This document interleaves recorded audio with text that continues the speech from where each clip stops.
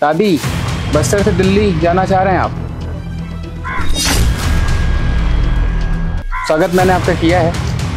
हमारा इंटरव्यू ऐसा ही रहता है। बस्तर से दिल्ली दादी क्यों जाना चाहते हैं? नहीं जाना चाहते। लोकसभा सांसद फालतू तुम मैं तुम न्यूज़ वाले नहीं तुम यहाँ जाओ। यहाँ से जाओ अच्छा। रुको दादी दादी। दादी चुनाव लड़ रहे दिल्ली जाना चाहते हैं? ऐसा एक क्वेश्चन है। जा। कल से ही सोशल मीडिया पर एक वीडियो बड़ी तेज़ी के साथ वायरल हो रहा है। वायरल वीडियो कवासी लकमा का है, जिसमें कवासी लकमा एक पत्रकार के साथ अभद्रता करते हैं और कहते हैं कि तुम न्यूज़ वाले नहीं हो, यहाँ से भग जाओ, चले जाओ। असल में ये पत्रकार तेज साहू हैं, जो कि दलो मीडिया के हैं। वो अपने चुनावी यात्रा के दरमियान बस्तर दौरे पर थे और कवासी लकमा को भी कांग्रेस ने बस्तर से अपना उम्मीदवार बनाया है। जब तेज साहू कवासी लकमा के पास पहुँचते हैं, कहते हैं कि आपका एक इंटरव्यू हो जाए। जिसके बाद कवासी लकमा और तेज साहू कुर्सी पर बैठ जाते हैं। जब पत्रकार पहला ही सवाल करता है कि आप बस्तर जीतने के बाद दिल्ली जाएँगे तो कवासी लकमा कहते हैं कि नहीं, मैं दिल्ली नहीं जा रहा। जिसके बाद कहते हैं कि तुम न्यूज़ वाले नहीं हो, तुम चले जाओ यहाँ से, जाओ। कवासी लकमा अपने विवादित बयानों की वजह से ही जाने जाते हैं। लगातार वो विवादित बयान देते रहते हैं। इसी लोकसभा चुनाव के दरमियान ही उनके ऊपर दो एफआईआर भी हो चुका है।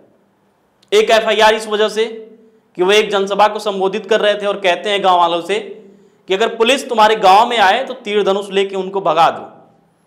और तेरह तारीख को राहुल गांधी की बस्तर में एक जनसभा थी, जिस दरमियान पीएम मोदी को लेकर भी कवासी लकमा खूब बुरा भला बोलते हैं, जिसके बाद उनके ऊपर एक और एफआईआर हो चुका है। चुनाव प्रचार के दरमियान ही दो एफआईआर और फिर पत्रकार के साथ अभद्रता। सोचिए कवास लकमा का आचरण कैसा है। लोकतंत्र के चौथा स्तंभ अगर उनसे कोई सवाल पूछता है तो वो भड़क जाते हैं। अगर वही सवाल प्री स्क्रिप्टेड रहता, पहले से उनको पता रहता कि क्या क्या सवाल पूछेगा पत्रकार, तब वो खुश हो जाते हैं। लेकिन पत्रकार ऐसा नहीं है। कि आपके अनुसार चलेगा।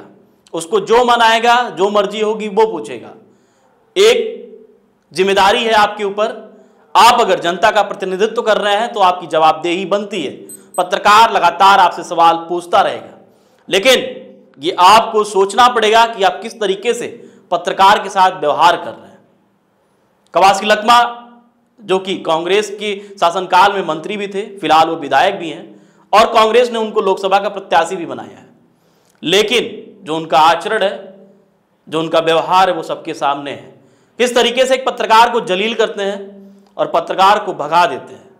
कहीं ना कहीं ये जनता देख रही है और जनता इसका जवाब दी, देगी कि आप किस तरीके से लोगों के साथ व्यवहार कर रहे हैं। अगर आप एक पत्रकार के साथ आपका व्यवहार ऐसा है तो आपका जनता जनार्दन के साथ कैसा व्यवहार होगा, वो सबको पता है। कवासी लकमा का ये दुर्व्यवहार पत्रकार के साथ कहीं ना कहीं निंदनीय है। आप क्या सोचते हैं, कमेंट सेक्शन के माध्यम से ज़रूर बताइएगा।